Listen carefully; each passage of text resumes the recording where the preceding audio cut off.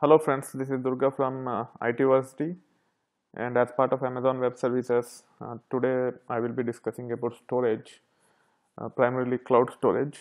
So as you have seen um, about EC2, we can provision the instances when we need, process the data and terminate those things when you don't need. So uh, when you actually terminate the instance, whatever storage that is associated with that instance um, especially something called instance store will be deleted automatically. And uh, there is another uh, uh, uh another uh, thing called volumes. So you can actually create the volumes off of those instances and you can retain them but they are not usable. So you can store the data in volumes even after the instances are terminated but the data in those volumes are not accessible un unless you attach those volumes to some other instance in future and try to process the data. Uh, being said that, uh, we need a solution where it is uh, accessible even when instances are down uh, because the same data ha might have to be processed using uh, different uh, servers in, in its life cycle so for that reason um, uh, we have to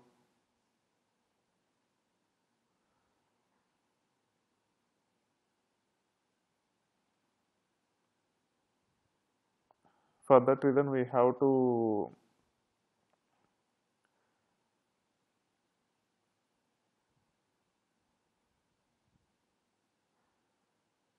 uh, we, we have something um, that can be accessed whether the instance is down or not and attaching the uh, device or volume to the all the instances in its life cycle uh, is uh, um, um, one expensive and uh, two um, it can be tedious.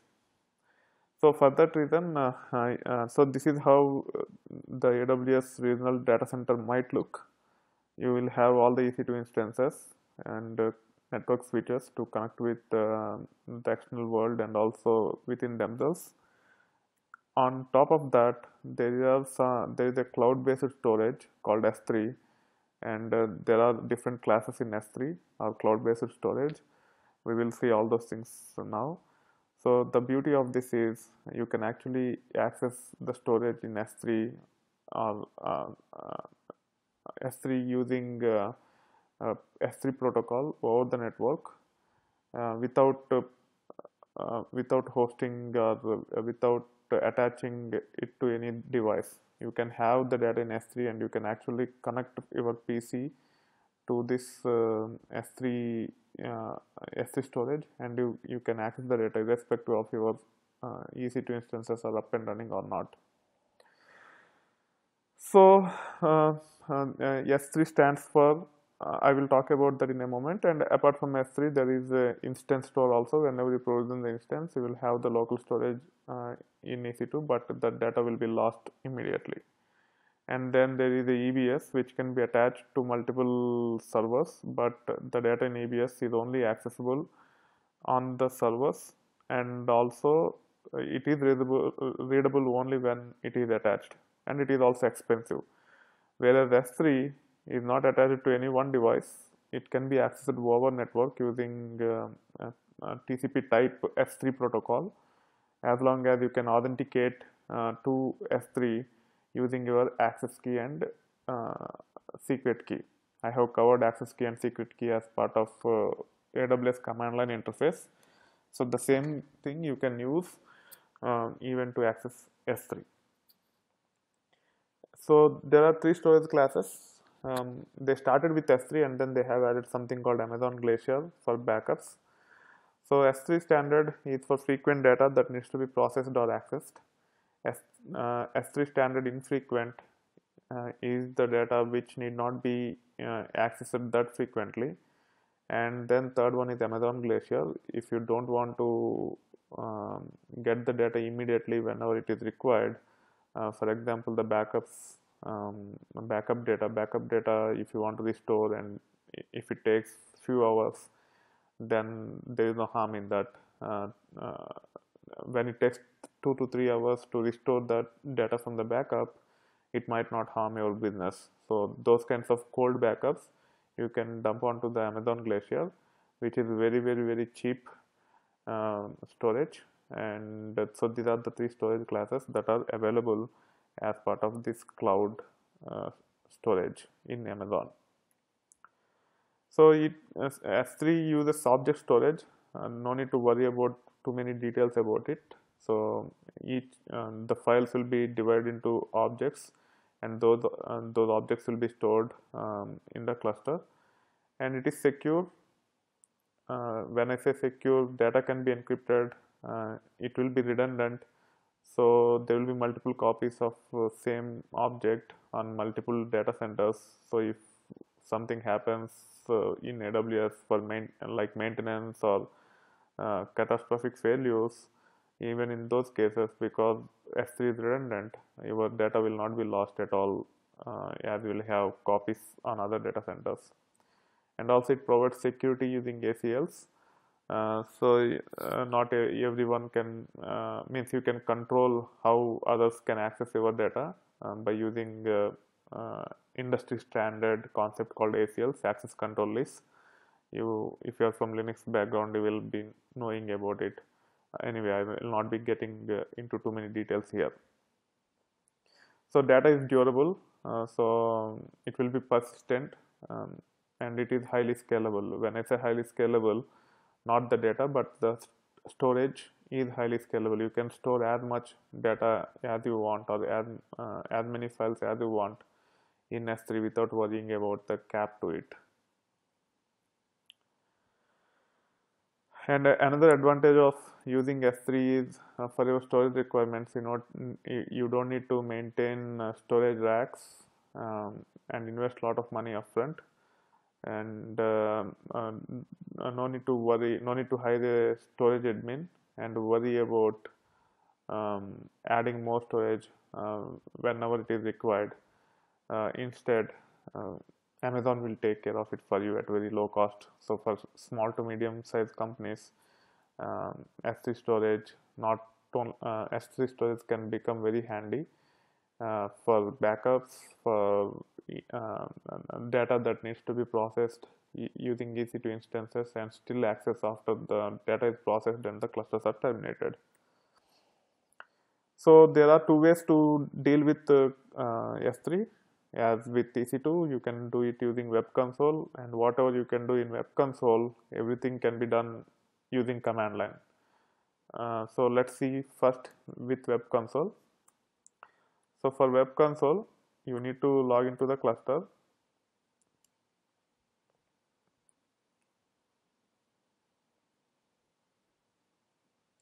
Using your, your username and password. And then um, as part of the services uh, we have seen EC2 briefly we have seen VPC and now we are talking about uh, S3 so it's a storage and content delivery service and also there is another service called Glacier you can click on that and it's uh, you can use it to backup uh, to uh, to copy your cold backups uh, online instead of storing your cold backups somewhere in your data center. Both are uh, um, uh, both can be connected. We will see how we can connect when we actually get into the details about S3 so when you click on S3 here so let me delete this bucket and uh, actions.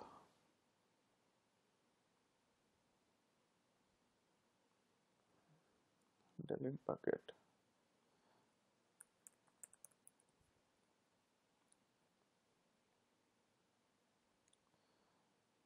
So let me start again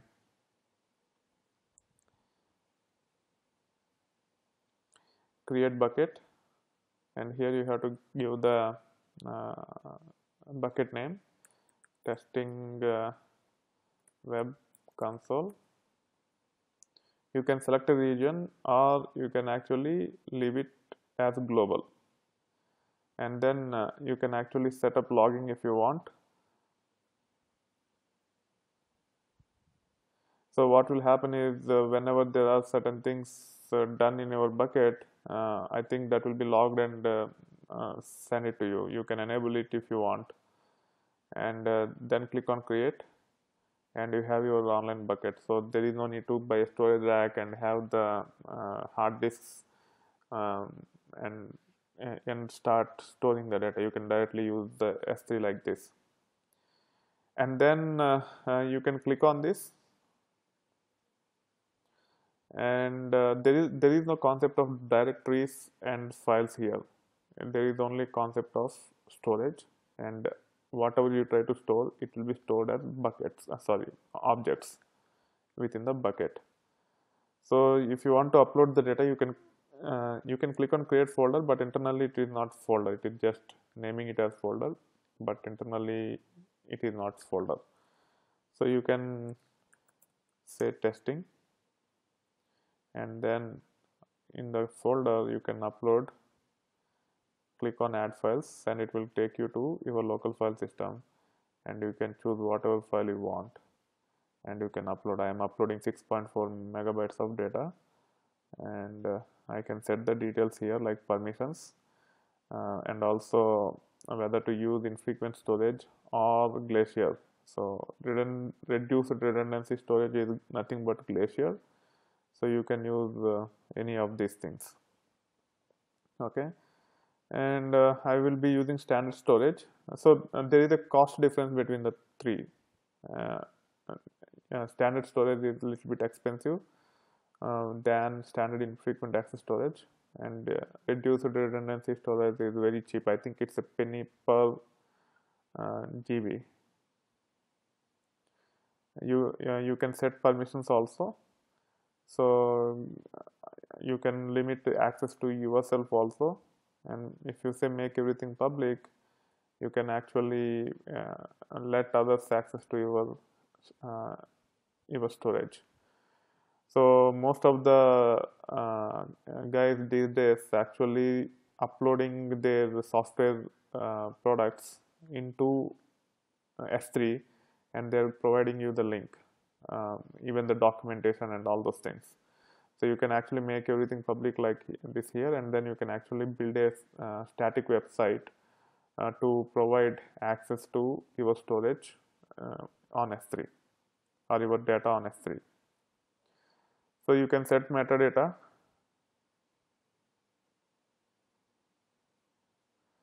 to uh, to provide uh, uh, the access. I have not used it yet, so I'm not 100% uh, sure about how to use it. But I think here you can actually set metadata in such a way that you can actually uh, access your files um, using a static website and you can start upload depending upon the network connectivity between the, your PC and the AWS it will take time to upload the files I think you can also have uh, uh, services from AWS where you can have a dedicated network between your data center and AWS and copy data from your data center to AWS in far more effective way.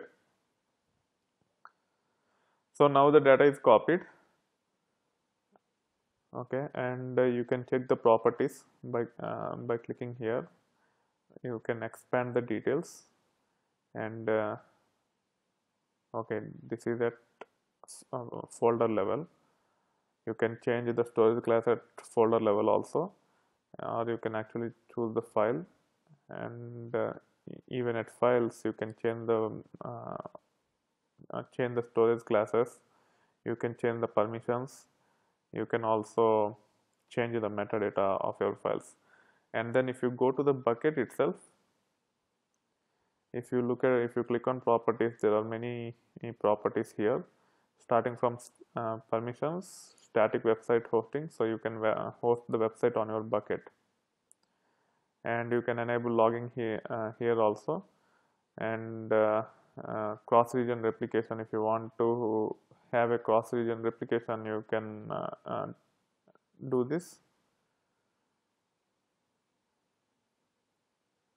Um, so what it will happen is uh, now we uh, it's global it can go to any um, uh, any region.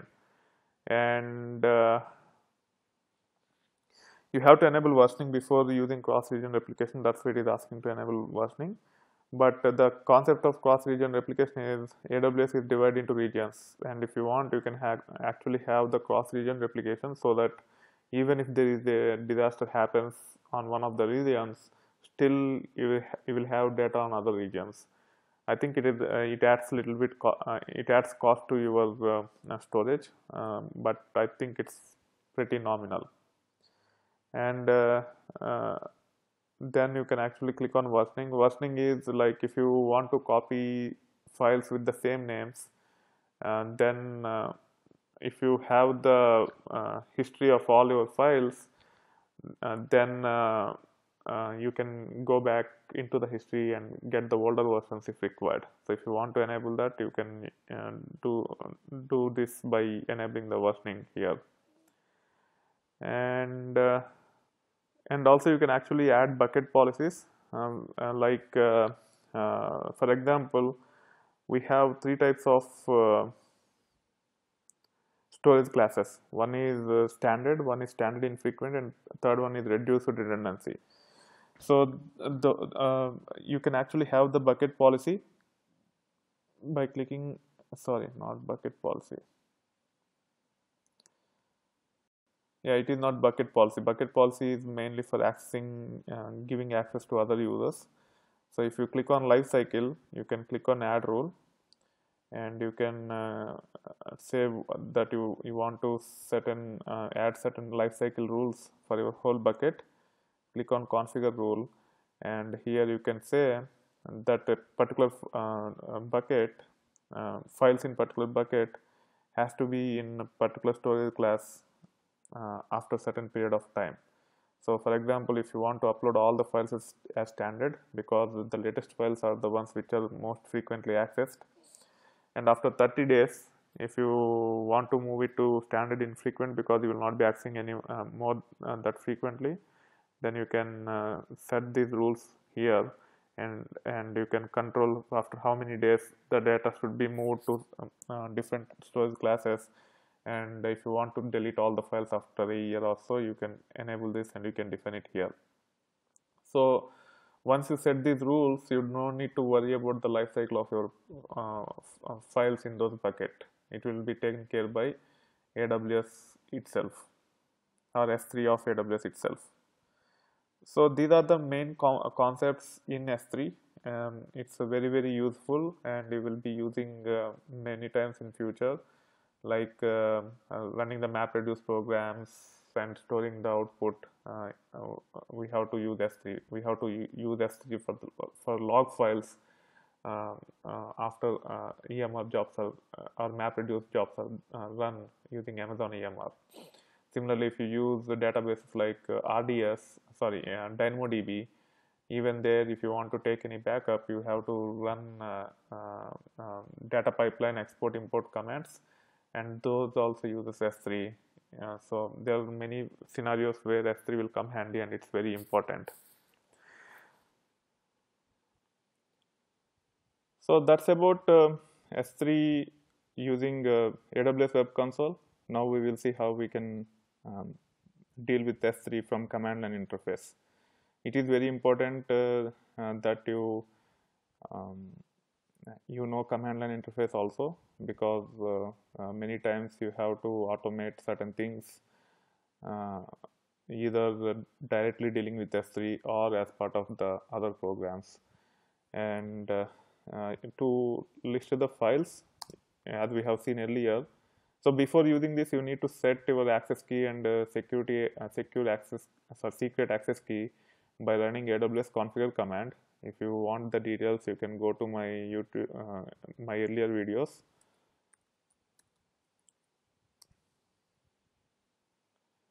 And uh, there is a playlist called amazon web services. And in that there is a, uh, a, sub, a special video for configure uh, explicit video for configuring your command line interface which will cover uh, all the details about uh, installation as well as uh, configure, configuring it so that you can use it in many ways starting from EC2 to S3 to DynamoDB, data pipeline. For almost all the AWS services, you can use command line interface. Once you set, uh, once you install and configure your command line interface uh, by following these videos. So that being said, um, earlier we have seen uh, um, there is a command called AWS EC2 in those videos to deal with all EC2 stuff. So S3 uh, is not only EC2, you can actually have uh, S3 without any EC2 instances. It's more of a cloud storage. So for that they added this uh, additional service called S3 and uh, in command line you have to use S3 as the main command after AWS and then uh, you can type help to get help of AWS S3 command. So I'm going to the end directly. So if you see these are the available commands cp, ls, mb, mv, rb, rm, sync, website. Most of them are self-explanatory. cp is to copy, ls is to list the files, mv to move uh, from one uh, uh, bucket to another bucket within uh, um, S3 I think or you can even move from local file system to um, um, S3 also. And rm is to remove sync is to sync the directories. So if you have a directory and if you want to sync on regular basis you can use the sync command uh, so, um, from uh, to sync your local file system local directories on your local file system to uh, S3 and website is the one uh, which I spoke about uh, earlier. It's uh, you can actually develop a static static website off of your S3 data. And if you want to deal with that you have to use this website command. And also on top of uh, AWS S3 there is another let me there is another command called AWS S3 API so if you want to uh, if you want to develop certain things you need to use this S3 API command.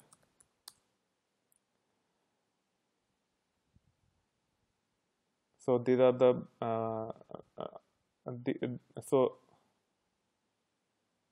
so uh, um, when I actually covered using web console I have spoken about uh, uh, not only creating the buckets um, but also uh, to do additional things like setting the ACLs for security purposes, setting the life cycle of, of, of from to move data from S3 standard to S3 standard infrequent to um, reduce redundancy all those commands are not available as part of S3 alone. So if you want to do those advanced stuff, you have to use this S3 API command and it will provide you a lot more uh, uh, features um, to deal with it. So you can actually set or get the ACLs. Um, you can do uh, you can um, uh, set or delete the bucket lifecycle uh, set the policies so whatever you have seen in uh, uh, in the web console on the detail section of your bucket everything can be done using S3 API so there are two command line uh, commands under AWS to deal with S3 one is S3 and the other one is S3 API um, to get started S3 is more than enough but for more advanced use you have to explore S3 API also and you can actually google it by saying Amazon Web Services command line interface S3 API and you will get uh, details or you can actually do the help and understand uh, and try to get the syntax of those commands. Uh, as long as you are familiar with this, that is more than enough to get started. Okay, so um, I came out. I will just demonstrate how we can actually create a, a bucket. You can e either use S3 or S3 API to create the buckets. So I will be using S3 and uh, let me go to help so I have explained uh, all the important commands I mean all the self-explanatory commands like cp ls mv rm sync etc but there are two new commands called mb and rb mb stands for make bucket rb stands for remove bucket so if you want to create a new bucket you have to use mb if you want to remove you have to use rb okay? So i'm coming out of it. So i want to create a bucket AWS S3 testing AWS CLI is my bucket name. So I have to say MB to make the bucket. it should use s3 path not like this. So I have to give s3 colon slash slash. But to list the files you don't need to give that s3 protocol. Only when you are trying to make the bucket or remove the bucket you have to use this s3 protocol. It will inherently take it. When you run aws s3 commands when you try to list the files it will inherently take that uh, s3 uh, while running those commands. So if you want to list the files you just type ls and hit enter and it will return testing AWS CLI and testing web console because we have created um, a, uh, a, bucket um, using web console also. And now to copy the files let me I think I already have this testing file. Now let me do this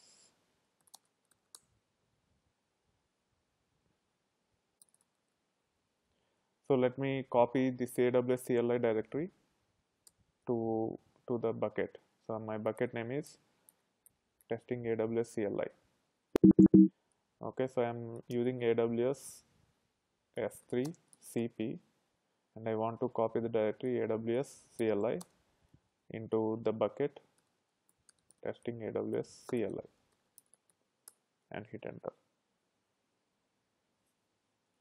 I have to give the S3 path here otherwise it does not know where to copy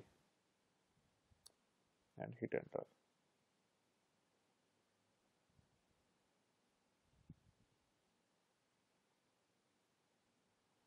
AWS S3 CP help. So if you want to get more help about your command, you can use this approach AWS S3 and the subcommand and then help. Okay, as it is directory, I have to um, do it recursively, so I have to use this recursive parameter. Okay, so now let me run this command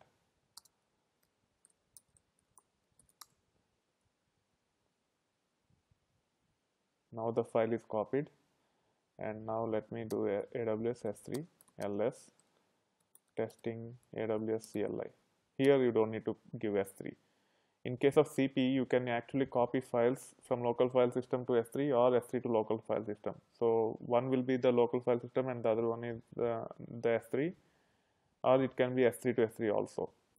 So to, to differentiate between the local file system and S3, you have to uh, give S3 as a protocol uh, for the uh, S3 locations, whereas for local file system, you cannot do that. So this S3 will differentiate between the local file system and the uh, S3 bucket. So now you can see that file is copied and you can also go to the web console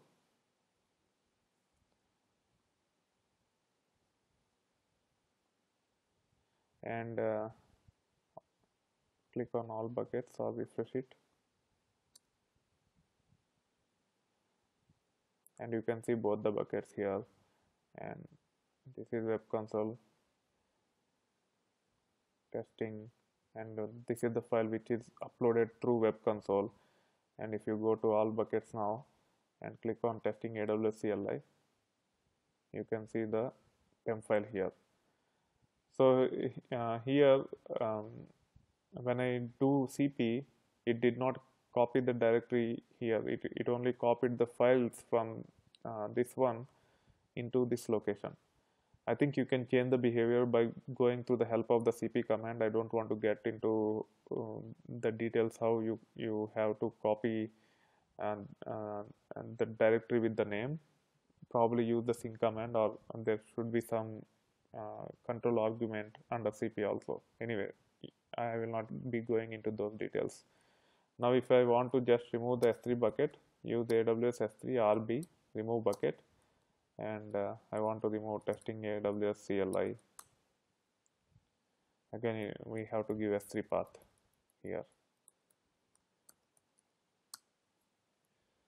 for MB and RB even though there are no other file systems associated with it um, it is uh, um, uh, you, you need to pass this S3 protocol. I think I have to give recursive here or force. I think it's force. Yeah. Now the bucket is deleted and now if you refresh it here